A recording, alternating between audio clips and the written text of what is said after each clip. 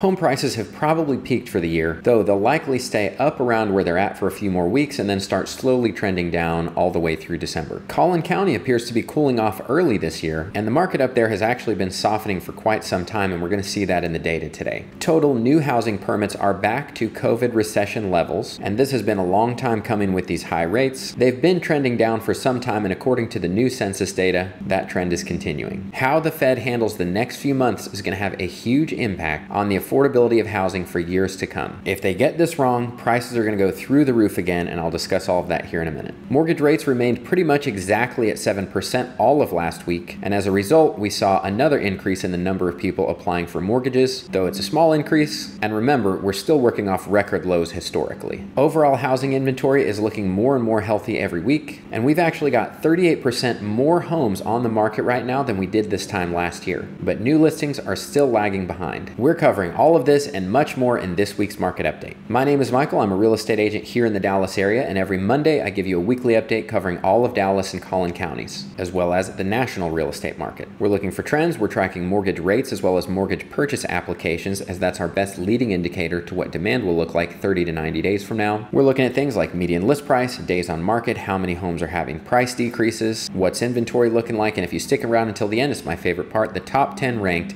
hottest and coolest cities and zip codes in all of Dallas and Collin counties. If this sounds like something you're into, make sure and hit the subscribe button. And if you're looking to buy or sell in the Dallas area, whether it's next week or next year, I'd love to connect. I've helped every one of these yellow dots find their little piece of Texas, and I'd love to help you too. Just call, text, or shoot me an email. All that info is in the description below. Okay, today is June 25th. Let's see what the data is telling us this week. And if this is an old video, you can click the playlist here and it'll take you to the latest weekly market update. First up is market news. We got the census building permit numbers last week, and not surprisingly, housing permits are continuing to decline. As long as rates stay this high, builders' confidence declines every single week. And you may not remember this because the last survey was a while ago, but multifamily permits have actually been in a recession since back in September of 2023. You may not remember this because the last survey was a while ago, but multifamily permits, that is things like apartment buildings, have actually been in a recession since back in September of 2023. Because when rates get this high, it does not make any sense. It's too expensive to float a housing building compared to where rents are. So it doesn't make sense to build apartments with rates this high. But now, single family housing is also starting to follow suit. And as I said in the intro, how the Fed handles these next few months is going to have a huge impact on housing affordability moving forward, potentially for years to come. A couple things to consider here. Multifamily units take around 21 months to complete. So even though permits have been declining, the workers building these apartments will still be employed for a long time. Then also, just because something has been permitted doesn't mean it's been started yet. So many builders, both of single family and apartments, have a backlog of permits that they haven't started yet. So just because new building permits are declining, that doesn't mean a market crash is here or instant mass layoffs in the housing construction market because 21 months is still a crazy long time for these people to be employed and things can change drastically in 21 months. Just think even 12 months ago.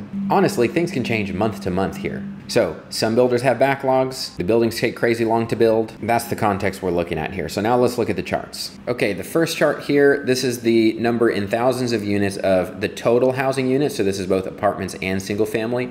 And you can see it's been declining for a while, and we're basically right back to the start of the COVID 19 recession. But more importantly, I want to point out look at what happened here.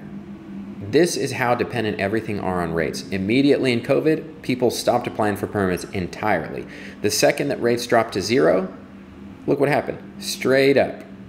That's the difference that rates make in people wanting to build houses. So again, even if this were to happen again, what would actually happen is the same thing. The Fed would drop rates extremely and it would bounce right back up. Now we're looking at single family permits. You can see the decline is slower here. And I also want to point out each one of these peaks, this one, this one, this one, this one, these are all in January. So it's normal to see the most amount of permits being applied for in January. That's when they're getting ready to make sure they have enough homes completed for these summer months. And then permits will decline permits will decline they decline. So that's what we're seeing here. It's it's nothing huge and drastic. This is not a market crash thing. This is literally builders are holding out. They're going to continue building their backlog and just buying time until rates drop. And this is why as i've talked about before a lot of builders right now are restricting their supply. So if they've been selling houses too fast they actually want to hold off on selling that supply and they're limiting the number of contracts that they'll accept every month So even if you want to buy a house in one of these communities and you see it listed, they may not let you contract it until next month because they want to hold on to that supply so they don't have to build new stuff while the rates are this high. They want to wait till rates drop, then they want to start building again. So right now, everyone is just buying time. They're slowing down their permits. That's why. Now, why is this so important? Economic cycles have very similar patterns. One is that when the Fed raises rates too much for too long and becomes too restrictive, it leads to housing to go in a recession first meaning construction workers specifically on single family houses are usually the first to get cut. So, if you didn't know, when unemployment starts to jump quickly, it almost always starts with a big layoff of construction workers. So, layoffs in the construction industry are actually a good leading indicator historically that a bigger recession is coming. Now, for the last few months, we've actually still been gaining jobs in this sector. But if permits and new housing starts continue to decline without mortgage rates dropping, that puts this labor pool at risk.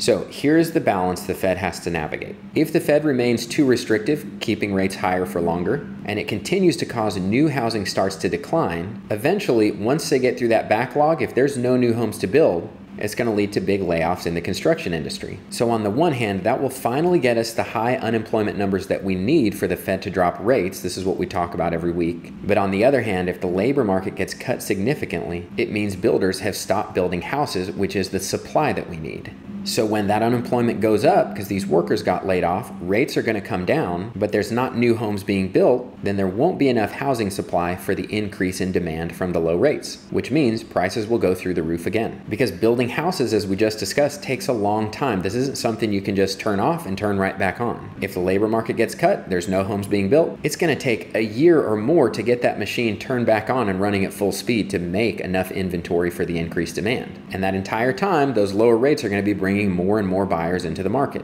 You get it? So it's very important the Fed drops rate even a little to bring back some home builder confidence to keep them building more housing supply without seeing mass layoffs in the construction industry. Otherwise, we're going to get low supply with high demand. Prices are going to go crazy. I'm sure everyone knows this. If you want to see housing prices come down, we need more supply. So we need builders to keep on building and keep on building even more than they are currently. In fact, that's the only thing that has kept housing prices from continuing to skyrocket these last few years. Okay, moving on. Let's start with national housing inventory. Okay, looking at the chart, this week we had a nice increase of 13,593 homes available for sale in the US, which gets us up to 634,132 homes available for sale in the country. For reference, the all time inventory bottom in 2022, we had 240,000 homes for sale. The peak of last year, we had 570,000 homes for sale. And the same week in 2015, we had about 1.18 million homes for sale. So we're up more than double from the absolute bottom, but we still need to nearly double again to get back to a normal market. But we're getting closer every single week, and right now we have 38% more homes than we did last year. So inventory is definitely growing. That's been the one big positive this year. Okay, now we're looking at new listings in the country, and you can see for most of the year, at the beginning of the year, we started tracking with 2022. It was looking very promising, and then right here in May, we basically just split the difference, and we've been slightly above last year and quite a bit below 2022. And this week we actually had 11,669 fewer homes listed than the corresponding week in 2022. And one important thing to note here that I'm going to start saying every week is that there's only a few more weeks before we see the seasonal decline in new listings. So I'd say probably three or four more weeks before less and less homes get listed every week, which means you're going to have less and less new options to choose from. People get confused by this every year because they see, well, inventory can continue up throughout the year, but new listings are dropping. So if inventory is increasing, that means those are the homes you already saw that you don't want every single week you actually have less and less new options to choose from. So if a month from now you don't like the homes on the market, you're gonna have less potential options every single week. So don't wait. The next few weeks are gonna be your biggest chance of seeing the most new houses to choose from. Okay, now we're looking at pending sales. Again, this is still national data. We have 2.5% more single family homes under contract than we did a year ago. We have 396,000 homes currently under contract in the country, and you can see we've just been slightly above 2022 which the thing that's very interesting to me is we had way more people applying for mortgages last year, yet we're having more sales this year. Then the last thing we cover nationally is the percentage of homes having price decreases every year. It's normal for a third of homes to take a price cut before selling. And looking at the national chart here, this week we have 36.9% of homes taking a price cut. Last year we got as high as 39.2. The year before we got as high as 43.2. So just know it's normal for this number to be going up through November. We'll see how high it gets this year, but we're just tracking to see aggressive swings in either direction, and we're not going to see that unless there's a big change in mortgage rates one way or the other. It's going to probably remain pretty steady. If rates were to drop, I would expect this to drop sharply. If rates were to go up, this would absolutely go up sharply. But for the most part, that's all we're looking at are things getting weird or are they normal? And so far, they're still normal. Okay, moving on to mortgage rates. We started last week at a 7.04 and we really just hung out right above 7% even yesterday, which was Monday, since I'm making today's video on a Tuesday. I cannot remember the last time that things stayed this stable. It's almost a little scary. It's almost too quiet here. We're just going to stay at 7% now. But the big story here was, and we've been tracking this the whole time, this is the 10 year, this is what mortgage rates follow. So we broke this uptrend, we retested it, we came down and we broke this line was very significant. You can see the treasury market thinks that this line is very important. We broke below it, we've been holding below it. We've been holding in a very tight range. And if I had to guess, if I had to guess, I'm not the oracle, I would say we're gonna take one more shot at this line and then we're gonna come down to this line. That's my guess of what happens next. But as of now, this is definitely still trending down. So we broke the uptrend, we've been trending down. We'll see how low we get by the end of the year. Now, looking at mortgage purchase applications, this week we saw a 2% increase in the number of people applying for mortgages, which gets us almost to about as high as we've been all year. Well, outside of the beginning of the year when rates dropped. But we've been in this range, just up and down or right back to the top of this range. So this is basically the highest demand we've seen since March. So obviously people are enjoying rates being back near 7% instead of above 7%. And again, there's no reason to believe mortgage demand is going to grow significantly with rates right at 7%. But as I said earlier, we have more pending contracts, but look how many fewer people we have applying for mortgages than we did a year ago. And I always feel like I need to give a disclaimer. You have to understand this is national data here in the Dallas Fort Worth market, we're the number one fastest growing market in the entire country. So our market looks different than this, which is why Dallas, the city, has actually seen a 21.2% increase in housing prices over the last year as of May. Okay, that's the national market. Before we move on to the local markets, if you are considering buying a home here in the Dallas Fort Worth area this year, two things. One, if you want to make sure you don't go broke buying a house, I have made a course specifically for you, which includes a new and improved version of my max affordability calculator. With this tool, you're actually going to input your own personal spending habits straight from your bank account, and it's going to show you with 100% accuracy how much house you actually can afford. It takes into account everything all the way down to your income tax bracket. It's better than anything I've ever seen online, and I promise you it is a really helpful tool.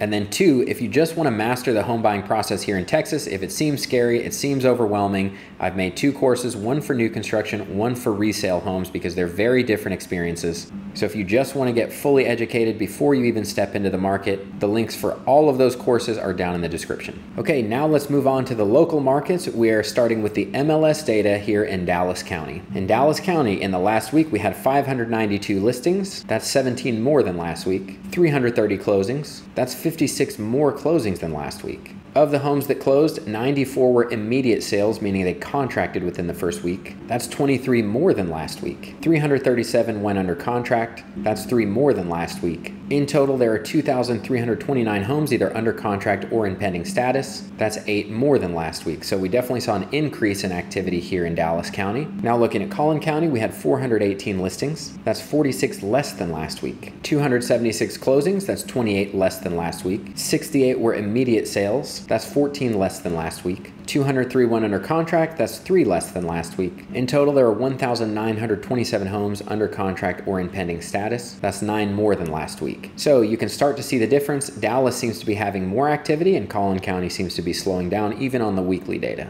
So now let's check out the Market Action Index. If you're not familiar, it just takes all of this data here, puts it into one easy to read graphic with a number. Anything at 30 or below is a buyer's market. Anything above 30, we're asking how much of a seller's market are we in? So we really just look at this to get a quick overview. Are things looking normal or are they looking weird? They're still looking normal here in Dallas County. As we've been discussing, we should be at the top of housing prices. They may stay here for a few more weeks and then they'll start to decline, but we don't expect prices to go up any more from here on out. We can see the market action index has been slowly declining since May. That's normal. We're going to cool off from here on through the rest of the year. We're still a slight seller's advantage. The number of homes having price decreases is increasing. Inventory, though, is still just slowly increasing, but increasing nonetheless. So that's what it looks like a totally normal, slight seller's advantage at this point in the year, everything looks normal. So let's look at Collin County. Collin County, remember on the MLS data, we saw they had a slightly slower week, but they are all the way down to a 40. So they're quite a bit slower than Dallas, whereas at the beginning of the year, they were actually hotter. And we can see their market action index has been cooling off just quicker. We can see it in the median list price. Now, I don't rely on any one week data ever. What we look for is a trend, but this week you can see we had another drop as well as the median price of new listings. We're gonna have to wait a few more weeks to see what's really happening with prices, but we already do expect that they should have topped out for the year, so it's normal that they'll come down. We just have to see the speed at which they come down. But interestingly enough, their median days on market actually had a drop, and I think that might be due to the price decrease. I don't know. Again, we're, we're only looking for trends, so take this all with a grain of salt. Number of homes having price decreases, a little above where Dallas is, 44, 45. That's normal for these places this time of year. Inventory also slowly grinding up, but you can definitely see Collin County is cooling off much quicker than Dallas County is this year. And something new I'll be covering moving forward is the pending sales data. So I wanted to show you actually the difference between Dallas County and Collin County. Dallas County pending sales weekly, you can see the last three years have been in a pretty tight range. So the black line is this year. You can see for a little bit we got above the previous two years. Now we're right back in the middle. So Dallas County for the last three years has been having about the same amount of pending sales every week. We are just barely above where we were last year. We had 1854 last year and we're at 1904 this week. So almost the same. But there's a huge difference when we look at Collin County. You see the black line in Collin County, how it's way above the previous two years?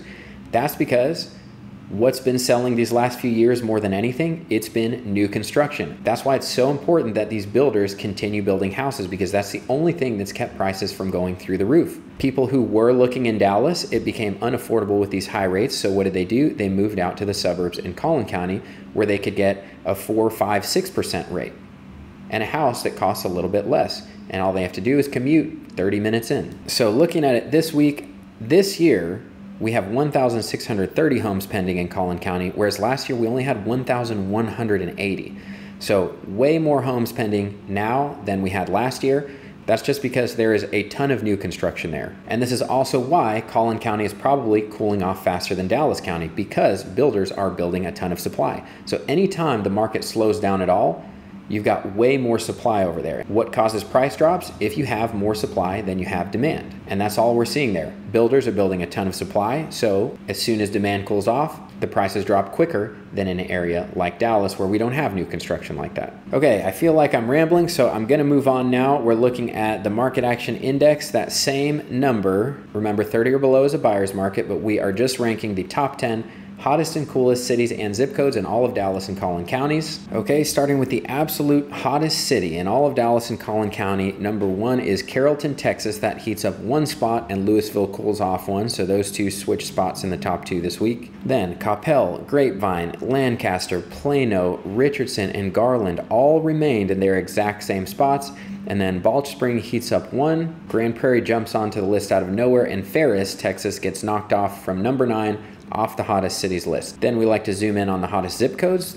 The absolute hottest is Carrollton 75010, then Carrollton 75007, Lewisville 75067, Plano 75025, Coppell 75019, Plano 75075, Garland 75042, Richardson 75080, Plano 75093, Grapevine 76051. So if you live in any of those zip codes, congratulations, you can sell for top dollar. Now we're looking at the same thing, but the coolest cities and zip codes. The absolute coolest remains and has been for a long time Van Alstyne. And something interesting this week, for the first time, we have a second buyer's market. Van Alstyne has been a buyer's market that's below a 30. Leonard finally becomes a buyer's market, so we have two official buyer's markets city wise in Dallas and Collin County now. But those two remain in the two coolest spots, followed by Prosper, which cooled off one. And this again is reflective of Collin County. Prosper is a big part of Collin County.